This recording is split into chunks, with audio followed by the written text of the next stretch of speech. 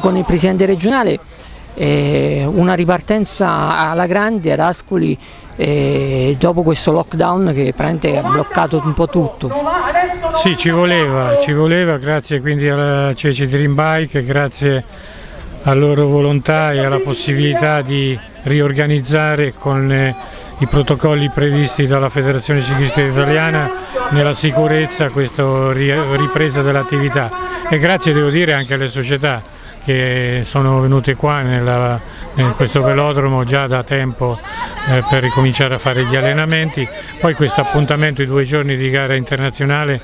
e credo che sia una cosa molto importante per tutta l'Italia, segue un altro appuntamento grande che è quello di Fiorenzola, quindi la possibilità degli atleti delle altre nazioni di rimanere qua per fare l'attività è importante aver abbinato una gara per giovanile, gli esordienti e gli allievi, uomini e donne, perché così hanno potuto vedere e imparare anche da questi atleti internazionali la tecnica e la capacità che hanno nell'andare in pista.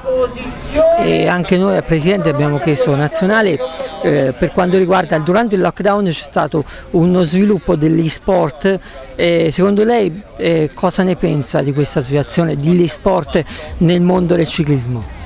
Ma eh, diciamo che c'è stata una risposta grande, una richiesta di bicicletta, di andare in bici, quindi molto importante è stato questo aumento dell'uso della bicicletta anche per mezzi di lavoro, quindi il ciclismo esce vittorioso dal punto di vista delle adesioni e dell'interesse sulla bicicletta.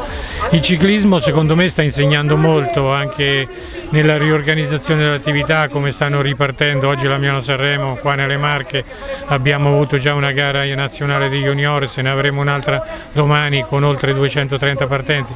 quindi sta, sta insegnando come riorganizzare un po' tutta la vita negli eventi diciamo, di massa, di gruppo.